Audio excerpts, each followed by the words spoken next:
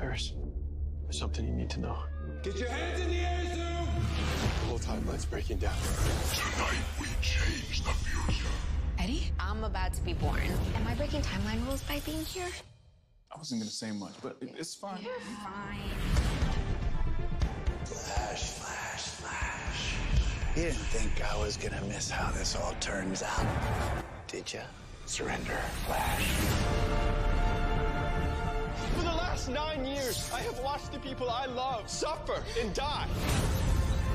My wife is about to give birth to our child. I am trying to save the timeline and Eddie's life. Everybody down! Then you need to believe in the impossible. Hey there, kid. Hey, wait! Barry's life is mine! Any last words? I've got three. Run, Barry. Run.